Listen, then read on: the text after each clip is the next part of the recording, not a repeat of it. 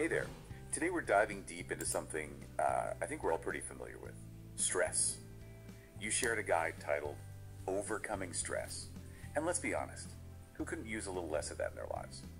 We're going to unpack some seriously effective, research backed techniques to not just cope with stress, but actually build resilience against it. It's fascinating how much we actually misunderstand about stress. It gets a bad rap, but it's a completely natural response hardwired into us, you know? Yeah. That faster heartbeat, tense muscles, the sudden burst of energy. It's our body's way of saying, hey, pay attention, something's up. So it's like our internal alarm system going off to signal potential danger. Exactly.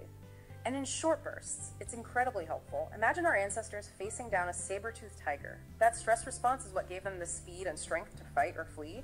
The problem is, in today's world, those tigers come in the form of deadlines, traffic jams, and that never ending to do list. Our bodies haven't quite caught up to the fact that these stressors aren't life or death situations. Okay, so that makes sense. Our body's ancient alarm system is getting triggered constantly by modern day worries. But how does that actually harm us? Well, when that stress response is chronically activated, it's like having your foot stuck on the gas pedal. Your body is pumping out hormones like cortisol, which over time can lead to a whole host of problems. We're talking everything from weakened immunity and sleep disturbances to digestive issues, Right. and even increased risk of heart disease. Wow, so it's not just about feeling frazzled or overwhelmed. Chronic stress can actually wreak havoc on our physical health. Absolutely. And it doesn't stop there. Stress also impacts our mental and emotional well being. It can make us more irritable, anxious, and prone to depression. It can even affect our relationships, making it harder to connect with others and enjoy life. So basically, chronic stress is a recipe for a whole lot of unhappiness. But the good news is, we're not powerless against it. The guide you sent has some really interesting strategies for managing stress and building that resilience we talked about. One that caught my eye was mindfulness and meditation. I'll admit, I always thought that was for, you know, super zen people in yoga pants. Yeah, I think there are a lot of misconceptions about mindfulness. It's not about emptying your mind or chanting Om on a mountaintop. It's simply about paying attention to the present moment without judgment. Think of it as hitting the pause button on that constant stream of thoughts about the past or worries about the future. So instead of replaying that awkward conversation from yesterday Yeah. or stressing about tomorrow's presentation, I'm just exactly. You're bringing your awareness to your breath, your body, the sights and sounds around you. And what's amazing is that research shows that even a few minutes of this a day can have a profound impact on your stress levels. It's like creating a little pocket of calm amidst the chaos. Okay, that sounds pretty doable. Yeah. Even I can manage five minutes without checking my phone right. Absolutely. And the beauty of mindfulness is that you can practice it anywhere, anytime. Waiting in line at the grocery store, focus on your breath, feeling overwhelmed at work. Take a few moments to notice the sensations in your body. It's like having a secret weapon against stress that you can access at any moment. Mm, I love that. Okay, shifting gears a bit. The guide also talks about the power of exercise. Now, this is something I can definitely get behind. I've always found that a good workout helps me clear my head and feel more energized. That's because exercise isn't just about physical fitness, it's a powerful stress reliever. Yeah. When you exercise, your body releases endorphins. These are natural mood boosters that have a calming effect on the brain. I've definitely experienced that runner's high after a good run. It's like a wave of happiness washes over you. But how exactly do endorphins work their magic on stress? Well, they interact with receptors in your brain that reduce your perception of pain and trigger positive feelings. It's like your brain's own reward system, kicking in to make you feel good. But the benefits of exercise go beyond just mood elevation. Yeah, I was going to say it's not all just about those feel good chemicals, right? Right. Exercise also helps relieve muscle tension, which we tend to hold when we're stressed. It improves sleep quality, which is essential for managing stress. And it even promotes clear thinking by increasing blood flow to the brain. So it's like a triple whammy against stress better mood, better sleep, mm-hmm. and a sharper mind. Sign me up. But I have to ask are we talking about having to train for a marathon here? Not at all. Even moderate exercise can have a significant impact. A brisk walk in nature, dancing to your favorite music, a yoga class, anything that gets you moving and your heart rate up can do wonders for your stress level. That's a relief. I think even I can handle a dance party in my living room. Speaking of things I can handle, this next strategy from the guide really speaks to my organized soul. Prioritization and organization. Is it just me? Or does a to do list a mile long feel like the ultimate stress trigger? You're definitely not alone. When we feel overwhelmed, it's often because we're facing a mountain of tasks with no clear plan of attack. That's where prioritization comes in. It's about taking a step back and deciding which tasks are truly urgent and important, and which ones can be delegated, delayed, or even eliminated. So it's like taking back control of that to do list instead of letting it control you. Exactly. And the simple act of creating a list and prioritizing those tasks can make them feel much more manageable. It's like breaking down a monster sized project into bite sized pieces. And there's something so satisfying about checking things off that list, right? It's like a little reward for your brain, a little boost of, I got this. It's a great way to build a sense of accomplishment and reduce the feeling of being overwhelmed. And breaking down those tasks into smaller steps also helps.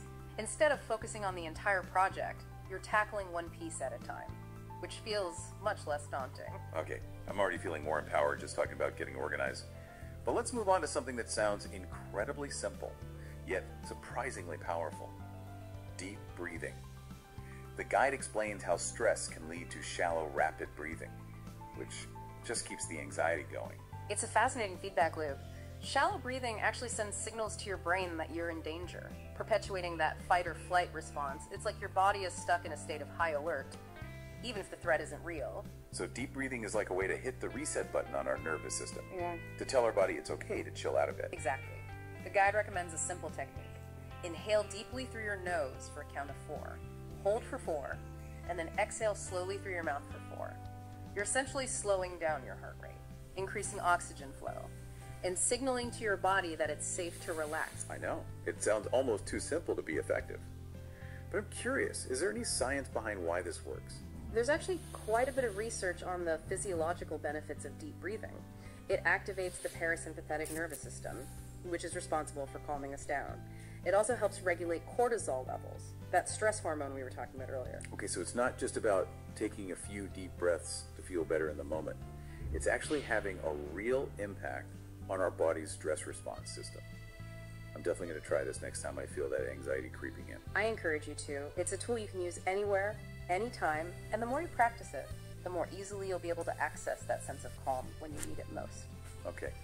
Deep breaths filed under must try techniques. Next up, the guide emphasizes the importance of connecting with others when we're feeling stressed. I know for me, just talking things out with a friend can make a huge difference. It's like sharing the burden makes it feel lighter. You've hit on something crucial.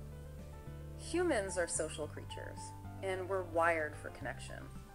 When we're stressed, talking to someone we trust, whether it's a friend, family member, therapist, or even a supportive colleague, can provide a sense of relief and validation. It's like that feeling of, okay, I'm not alone in this. Just knowing that someone else understands what you're going through can be so comforting. Mm-hmm. But is there more to it than just feeling supported? Absolutely. Talking about our problems can help us gain perspective, process our emotions, and even come up with solutions we might not have seen on our own. Sometimes just hearing ourselves say things out loud can help us make sense of them. I know, I've definitely had those aha moments while venting to a friend. It's like talking it out helps me untangle the knot of stress in my mind. Exactly, and sometimes just receiving a hug or a listening ear can be enough to shift our mood and remind us that we have people who care about us. It's like a reminder that we don't have to go through tough times alone. Okay, moving on. The guide dives into the importance of self care and boundaries which I think is something a lot of us struggle with. I'll admit, I used to think of self care as bubble baths and face masks, but the guide seems to take a more holistic approach, right?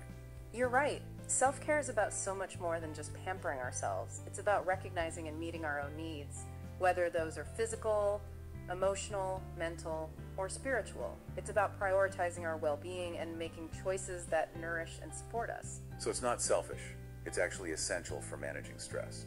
Precisely. And setting boundaries is a key component of self care.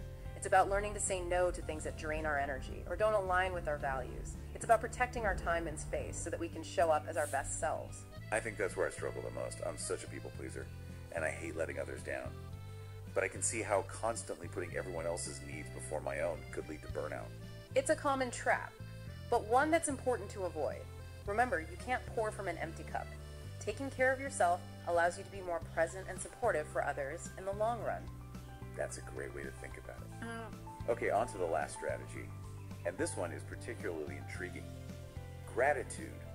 So, the guide suggests that being thankful can actually help combat stress. It might sound counterintuitive, but research shows that focusing on the positive, even in challenging times, can have a profound impact on our well being. Gratitude helps shift our perspective, allowing us to appreciate the good in our lives, even amidst the chaos. So even when things feel tough, finding something to be grateful for can help reframe our experience. Exactly. It's about intentionally directing our attention to the things we often take for granted a roof over our heads, a warm meal, the love of family and friends. By acknowledging these things, we're essentially rewiring our brains to focus on abundance rather than scarcity. So it's not about denying the negative, it's about choosing to focus on the positive. Precisely. And the benefits go beyond just feeling good. Studies have shown that practicing gratitude can improve sleep quality, boost our immune system, and even make us more resilient in the face of adversity. Wow, those are some pretty impressive benefits for something as simple as being thankful. But how do we actually incorporate gratitude into our daily lives? Do we need to keep a gratitude journal or something? That's one way to do it. Taking a few minutes each day to write down things you're grateful for can be a powerful practice. But it doesn't have to be that formal. You can simply make a mental note of things you appreciate throughout the day, or express your gratitude to others directly. Like telling a friend how much you appreciate their support, or simply saying thank you to the barista who made your coffee. Exactly. It's about making gratitude a conscious choice, a way of approaching life rather than just a fleeting feeling. Okay, I'm definitely feeling inspired to start incorporating more gratitude into my life. It seems like a simple yet powerful way to shift my mindset and boost my overall well being, I have to say. This deep dive has been a real eye opener. We've covered so much ground mindfulness, exercise, organization, deep breathing, connection, self care, and gratitude.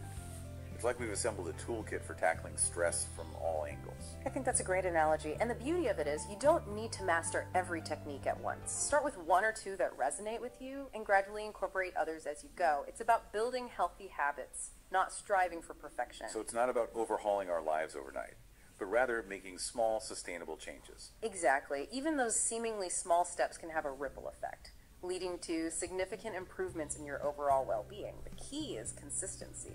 That's really encouraging to hear because I think sometimes when we're feeling overwhelmed, we get paralyzed by the thought of having to do it all. But if it's about taking those small, consistent steps, that feels much more manageable. I completely agree. And it's important to remember that you have the power to choose how you respond to stress. These techniques are about equipping yourself with the tools to navigate those challenges more effectively. So it's not about eliminating stress altogether. Because let's face it, that's probably impossible. It's about learning to manage it so it doesn't control our lives. Precisely. Think of it as building resilience, that ability to bounce back from adversity and maintain a sense of equilibrium even when things get tough. I love that analogy. It's like developing this inner strength that helps us weather the storms of life. And the more you practice these strategies, mm. the stronger that resilience muscle becomes. You'll find yourself feeling more equipped to handle whatever life throws your way. This has been such an insightful conversation. I feel like I have a much better understanding of stress and, most importantly, what I can do to manage it. Now, for our listeners who are eager to start taking action, what's one small step they could take today to reduce stress and cultivate a greater sense of calm? That's a great question. I'd encourage everyone to think about which of these strategies resonated with them the most and commit to trying it out today.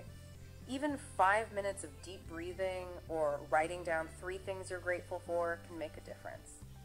It's about taking that first step and building momentum.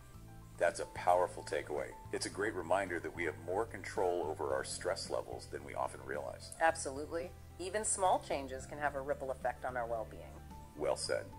This deep dive has been incredibly insightful and empowering.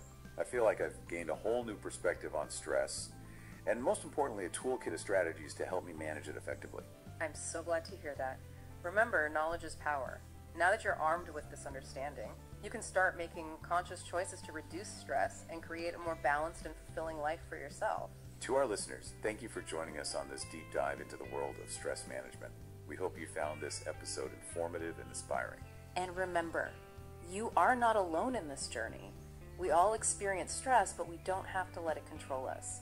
By incorporating the strategies we've discussed today, you can take charge of your well being and live a happier, healthier, and more resilient life. Until next time, keep exploring, keep learning, and keep taking those small steps towards a more peaceful and fulfilling life